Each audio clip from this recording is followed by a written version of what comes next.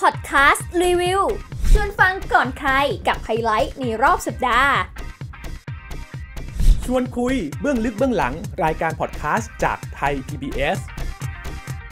และชวนติดตามหลากหลายช่องทาง ฟังกันได้ทุกที่ทุกเวลา Podcast Review ทุกวันจันทร์เวลา 10นาฬิกา15 นาที ทางแฟนเพจ Facebook ไทย PBS Podcast สวัสดีครับ ผมวีรพงศ์ทวีศักดิ์ครับ ทุกท่านเคยได้ยินคำนี้ไหมครับ เรื่องสิวสิวเรื่องสิวสิวเนี่ยมันหมายถึงเรื่องเล็ก ๆ จิ๊บๆนะครับจัดการง่าย ๆครับ แต่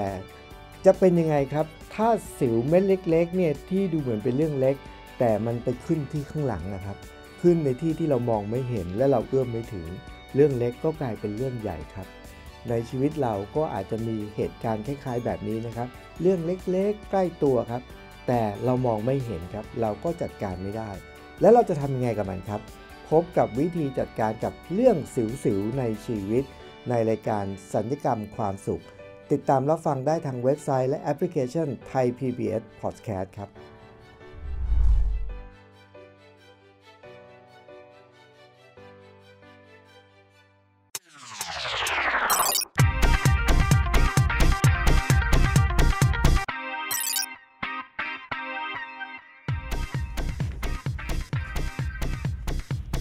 ค่ะ ต้อนรับเข้าสู่รายการ Podcast Review สัปดาห์นี้พบกับมิวอัยดาสนศรีนะคะ เราเจอกันเป็นประจำที่นี่เลยค่ะ แฟนเพจ Facebook ของไทย PBS ไทย PBS Podcast รวมไปถึง YouTube Channel ของไทย PBS Podcast ค่ะ ซึ่งหลังจากนี้ คุณผู้ชมทุกท่านสามารถติดตามเราได้ เวลา 10นาฬิกา15 นาทีนะคะ ขอขยับเวลานิดหนึ่ง แต่แน่นอนว่าเรายังคงมีเนื้อหาแล้วก็เรื่องราวที่น่าสนใจมาอัปเดตให้ฟังกันเช่นเคย วันนี้มีทั้งรายการใหม่และรายการที่น่าสนใจ ส่วนจะมีอะไรบ้างนั้นไปฟังค่ะ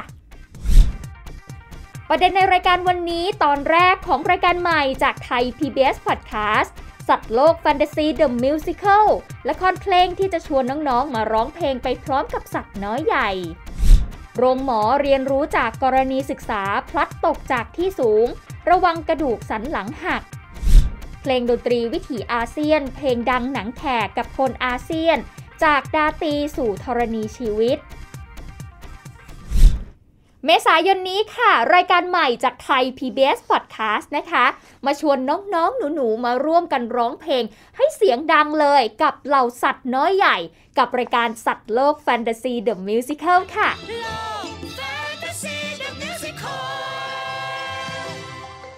ละครเพลงที่มีความสนุกสนานพร้อมด้วยเหล่าสรรพสัตว์ก็จะมาเติมแต่งสีสันผ่านจินตนาการของเด็กๆด้วยเสียงนะคะ น้องๆ เนี่ยจะได้ทั้งความรู้แล้วก็ฟังเรื่องราวต่างๆ ที่เกิดขึ้นบนโลกใบนี้ รายการที่ฟังดีปลอดภัย ฟังกันได้ทั้งครอบครัวค่ะ โดยในตอนแรกนะคะ ออกอากาศไปแล้วเมื่อวันอาทิตย์ที่ผ่านมากับตอน โลกของช้างไทย วันนี้เลยมีตัวอย่างละครเพลงจากช้างพังที่ชื่อว่าแม่นวลนะคะ เธอจะพาน้องๆ หนูๆ ไปรู้จักกับช้างไทย ส่วนจะสนุกสนานแค่ไหนลองไปฟังกันค่ะ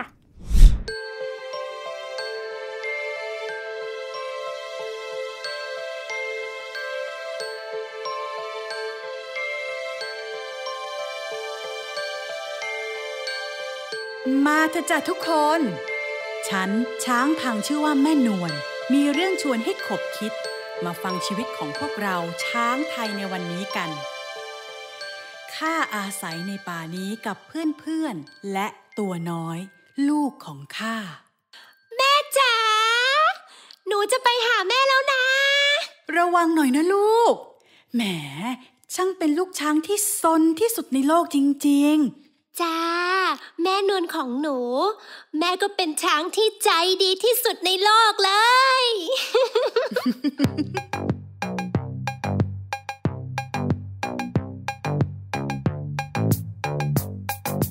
เราอาศัยอยู่ในแผ่นดินนี้ ที่ภูเขามีบ้านมีป่าใหญ่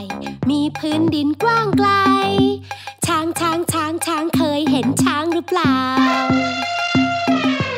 เรามีงวง งวงยาวใหญ่ เป็นตัวเมีย เรียกว่าแม่ เรียกแม่ว่าช้างพัง พอเจ้าไม่มีงา เรียกว่าช้างสีดอก แต่ลูกไม่เคยเห็นหน้าพ่อ นี่เป็นเรื่องธรรมดา ช้างตัวผู้เมื่อโตเต็มวัยจะถูกคุณยายเชิญออกไปจากโขลง ธรรมดาเรื่องธรรมดา แต่ว่าสำคัญ ช้างตัวผู้ไม่รวมอยู่ กับตัวเมีย สายพันธุ์ไม่เสีย ไม่งั้นเราจะอ่อนแอ แค่มาสืบพันธุ์กัน ในวงศาเดียวกัน อ๋อ เข้าใจแล้วจ้ะแม่ เมื่อกี้ใครเรียกข้าโอ้คุณยายจากคลอง สวัสดีจ้า ช้างช้างช้างช้างเคยเห็นช้างหรือเปล่า นี่ข้าจะบอกให้จากโขลงน่ะเรียกอีกอย่างว่า เรียกข้าแม่ปลาแรกเรียกแม่ปลาแรกแปลใช่ไหมล่ะข้า เป็นคุณยายเป็นหัวหน้าโขลงช้างจะช้างจะช้างช้างมีประสบการณ์มากดูแลพวกเราให้อยู่สบาย มีวินัยร่วมด้วยช่วยกันๆใช่ เพราะว่าพวกเรามีหลายสายพันธุ์อยู่รวมกันนานเนินนานมา มีประวัติศาสตร์ที่บันทึกเอาไว้เราเป็นสัตว์คู่เมืองเราเป็นช้างคู่บ้านมาตั้งแต่โบราณเราได้ร่วมกอบกู้ยังไงล่ะจ๊ะ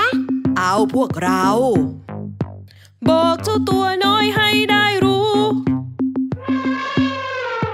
คนโบราณฝึกเราเอาไปออกศึก ช่วยผนึกพลังสู้คู่กับคน เขาทำศึกรมรันเรียกว่าช้าง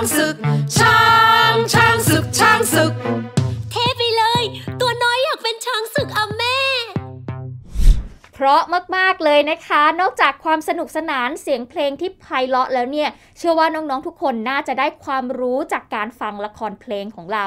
อย่าลืมติดตามค่ะกับรายการสัตว์โลกแฟนตาซี The Musical นะคะ อัปเดตทุกวันอาทิตย์ทาง www.thaipbspodcast.com และแอปพลิเคชัน Thai PBS Podcast ส่วนสัปดาห์หน้ามีอีกหนึ่งเรื่องค่ะ นั่นก็คือเสียงของโลกร้อนนั่นเองนะคะ สนุกเหมือนกัน แต่จะเป็นยังไงอย่าลืมติดตามกันนะคะ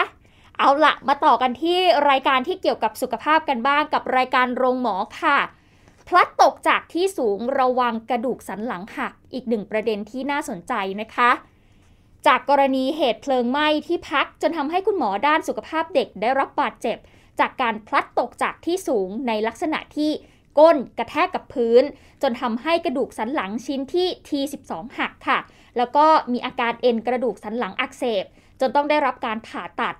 ดรนายแพทย์จตุพล คงถาวรสกุล แพทย์ผู้เชี่ยวชาญด้านกล้ามเนื้อกระดูกและข้อ ขอแชร์สาเหตุแล้วก็ผลของการพลัดตกจากที่สูงนะคะโดยคุณหมอบอกว่าเมื่อใดก็ตามที่พลัดตกลงมาจากที่สูง แล้วมีอาการปวดหลัง แม้ว่าเราจะเดินได้ แต่ก็อย่าเพิ่งนิ่งนอนใจค่ะ เพราะว่าร่างกายของเรานั้นอาจจะกำลังฟ้องว่า กระดูกสันหลังของคุณนั้นอาจจะได้รับบาดเจ็บอยู่ จะเป็นอย่างไรลองไปติดตามค่ะ กระดูกหลังเนี่ยถ้าหักแล้วเราไม่ผ่าตัดนะ ประมาณหนึ่งเดือน ทุกรายเลยฮะอาการปวดมันจะหายแล้ว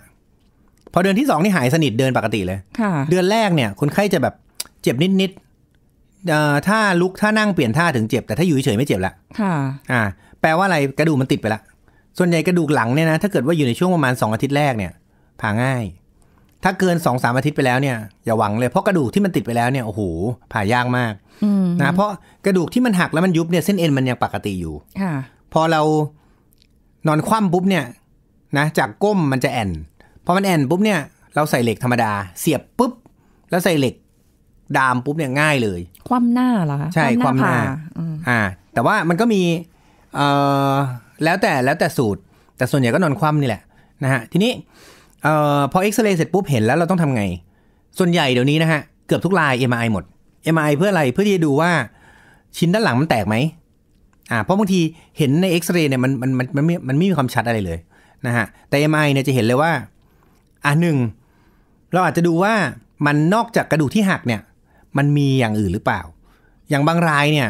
ล้มก้นกระแทกไม่ได้หนักมากเนี่ย แต่เห็นกระดูกยุบเราก็ต้องสงสัยแล้วเอ้ยเป็นเนื้องอกเนื้องอกหรือเปล่า อ่า คือเขาอาจจะมีเนื้องอกที่ไม่ใช่มะเร็งนะเนื้องอกธรรมดาค่ะที่เป็นมาก่อนตั้งนานละอ่าแล้วปรากฏตรงนี้มันเป็นวีคพอยต์พอล้มปุ๊บเอ้ยมันก็เลยยุบค่ะเราจะได้ไปแก้ปัญหาตัวนั้นด้วย หรืออย่างน้อยแนะนำให้คนให้รู้ว่า ตัวนี้เนี่ย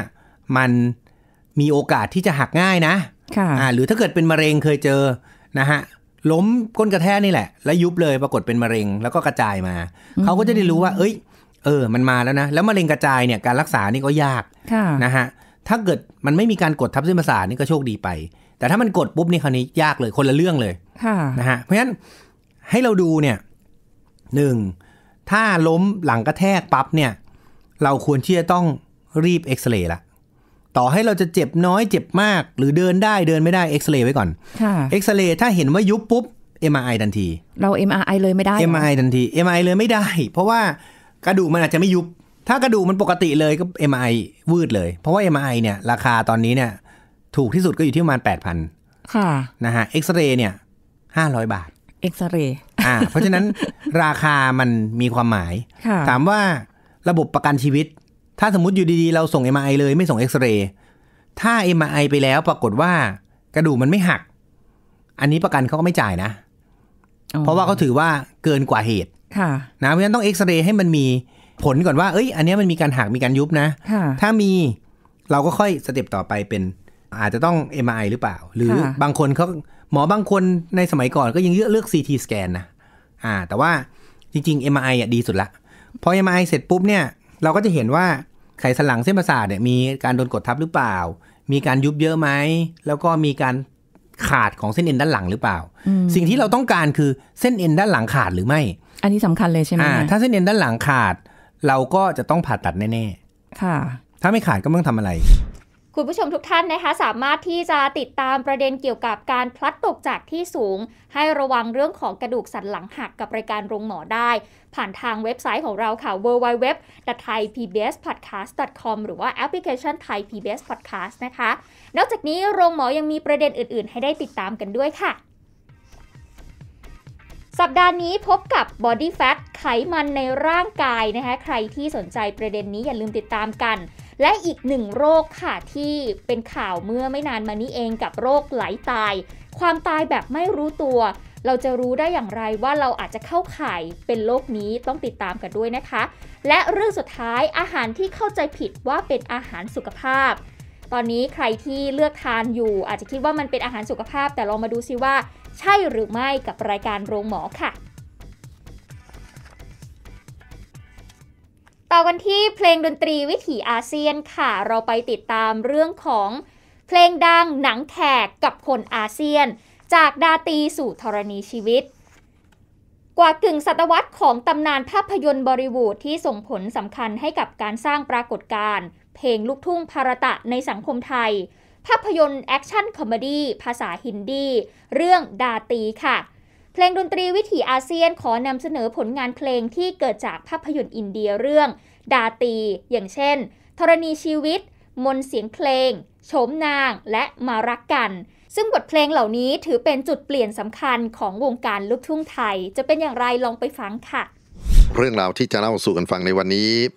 ส่วนหนึ่งมาจากความทรงจำในวัยเยาว์ซึ่งตัวผมเองเคยติดตามคุณพ่อคุณแม่ไปชมภาพยนตร์อินเดีย ในโรงภาพยนตร์ใกล้บ้านแล้วพอโตขึ้นมาเป็นวัยรุ่นก็ยังมีโอกาสครับที่จะไปซื้อตั๋วชมภาพยนตร์เองไปจนถึงได้มีโอกาสชมที่เขาเรียกกันว่าหนังกลางแปลงนะครับ ซึ่งก็เป็นหนังอินเดียในวัดละแวกบ้าน มีความทรงจำที่ดีๆ เยอะแยะเลยครับ เกี่ยวกับ หนังอินเดียทั้งในส่วนที่เป็นหนังกลางแปลงไปจนถึงภาพยนตร์เบื้องต้นที่ได้ชมกับคุณพ่อคุณแม่ ความประทับใจส่วนหนึ่งหนีไม่พ้นเพลงประกอบภาพยนตร์ที่มีทั้งการขับร้องการออกแบบดนตรีที่ไพเราะแล้วก็มีการเต้นรำนะครับ ระหว่างพระเอกนางเอกและตัวประกอบต่างๆ แล้วก็แน่นอนถึงแม้ว่าเราจะไม่เข้าใจเนื้อหาที่เขาขับร้อง แล้วก็พอจะรู้อยู่ในตอนนั้นว่าพระเอกนางเอกไม่ได้ร้องจริงนะครับ เพราะว่ามีเสียงของนักร้องที่เขาเรียกกันว่า playback singer หรือนักร้องเพลงประกอบที่โด่งดังในอดีตอย่างลาตามังเกชการ์หรือโมฮัมหมัดราฟีซึ่งร้องภาพยนตร์เรื่องไหนเรื่องไหนก็เสียงซ้ำกันอยู่อย่างนี้แหละนะครับ แต่เราก็ยังเพลิดเพลินอยู่ได้ เมษายนนี้ยังคงมีอีกหนึ่งรายการใหม่ที่เราภูมิใจนำเสนอค่ะ นั่นก็คือเศรษฐกิจติดบ้าน รายการที่จะทำให้เศรษฐกิจเป็นเรื่องที่เข้าใจง่ายนำเสนอจากมุมมองของผู้ที่ครั้งหนึ่ง เคยเจอกับปัญหาที่อาจจะไม่เข้าใจข่าว หรือว่าประเด็นทางเศรษฐกิจ เพื่อสร้างความรู้ความเข้าใจในเรื่องนี้กับคนฟังทางบ้านค่ะ และเศรษฐกิจจะไม่ใช่เรื่องที่เข้าใจยากอีกต่อไป รายการเศรษฐกิจติดบ้านออกอากาศทุกวันจันทร์ถึงศุกร์นะคะ เวลา 22นาฬิกา15นาทีถึง 22นาฬิกา30นาที ทางเว็บไซต์ www.thaipbspodcast.com และสามารถรับชมได้ทางไทย PBS ช่องหมายเลข 3 ค่ะ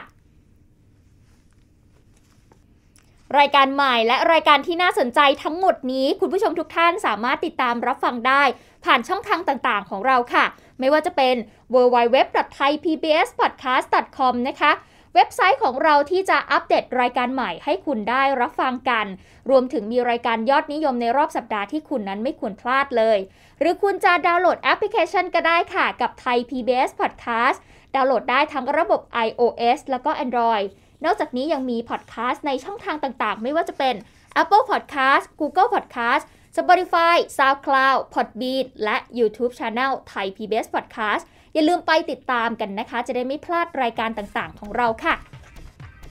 นอกจากนี้ยังสามารถติดตามข่าวสารผ่านทางโซเชียลมีเดียของเรานะคะ ไม่ว่าจะเป็น Facebook Instagram Twitter รวมไปถึง YouTube นะคะ ก็ไทย PBS Podcast ชื่อนี้ชื่อเดียว สามารถค้นแล้วก็อย่าลืมไปกดไลค์กดติดตามกันด้วยนะคะ ในวันจันทร์หน้าค่ะ เรายังคงมีรายการที่น่าสนใจมาอัปเดตให้ฟังเช่นเคย อย่าลืมติดตามกันด้วยนะคะ กับรายการ Podcast Review ค่ะ เวลา 10นาฬิกา15 นาที ส่วนวันนี้หมดเวลาแล้ว หมิวอัยดาสนศรีต้องขอตัวลาไปก่อน สวัสดีค่ะ